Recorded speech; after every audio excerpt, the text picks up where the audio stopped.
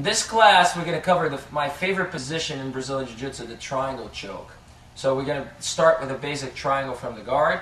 We're going to teach you how to escape the triangle with posture, and we're going to teach you how to escape the triangle when it's really sunk in and almost finished. So let's start with the triangle from the guard.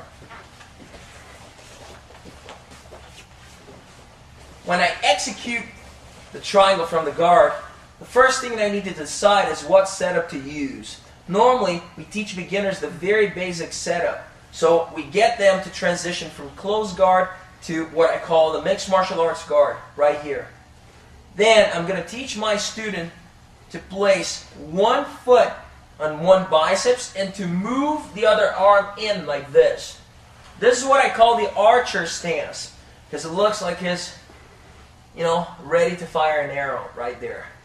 Now, when it gets to this position, all I got to do is slide his foot up, and I'm going to cause the a situation here where one arm is outside my guard, one arm is inside my guard. And that's where I want to be when it comes to triangles. After this happens here, the next step is crucial and most likely what makes my triangle be different from what most people teach. Uh, the majority of jiu-jitsu schools will teach you to close like this, staying in line with your opponent, and pulling the head to finish. With this, the problem with this is not only it's harder to close the triangle on people who are slightly bigger, but it's also harder on your neck. If he drives forward and starts bringing pressure, and most people will when getting triangle, you're going to hurt your neck pretty easily. I also need to rely on both hands here to apply pressure on my triangle, which means they're not going to be able to attack anything else. The alternative to this is what I do. I, after I free that foot right there, I'm going to come down and chop against the back of the neck. So my right leg chops down just like a guillotine. It's going to come down like a blade. And I'm going to bring my opponent down with it. At the same time, I'm moving my head to the side, keeping my back flat on the mat. It's very important to keep your back flat on the mat, otherwise you're going to lose a lot of power. While I do this, I also control the inside arm, and you can use any grip that you're comfortable with.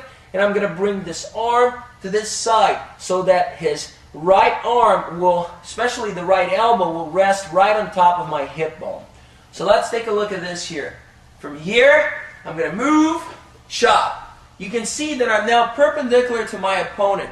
The triangle choke consists of two bars and his head trapped between those two bars. One bar is my calf coming on top and it comes down, like I said, with energy here. I don't want this to be a lazy movement. And the other bar is his arm, which I crossed over right before I clamp down. It's important to cross over before you clamp down. If I cross over before I clamp down, you can see that his chin is in the front of his arm.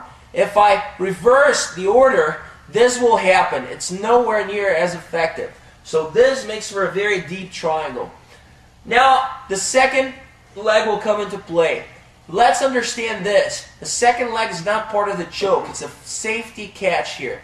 So if I do this here, the choke is already taking place. He's already being slowly choked there. This only adds speed to the process and safety to the process. It's very important, yet it's not mandatory. Sometimes I'll close a triangle with my arm taking a second place. Once I get this, how should I crank the triangle?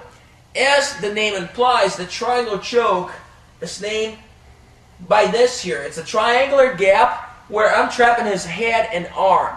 Now, the way that I want to do this is that I want to narrow this gap so he gets choked. So there will be two components to this. I'm going to squeeze my thighs together so I'm narrowing that V. And I will also bring my heel down so I can lower my calf, thus making this triangle smaller and smaller. So the thighs will come in and the heel will come down, which brings the calf down. So we're doing this here.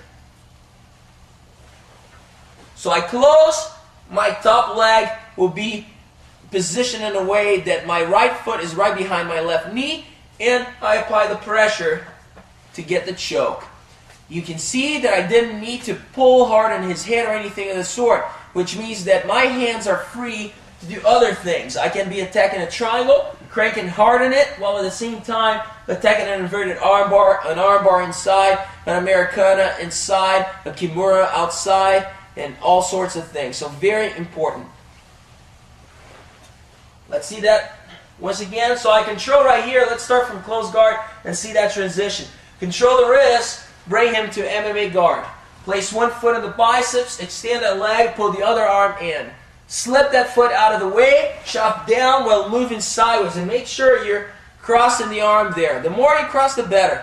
Now I'm going to go ahead and bring the second leg into play, lower my heel down towards the ground, and get the tap.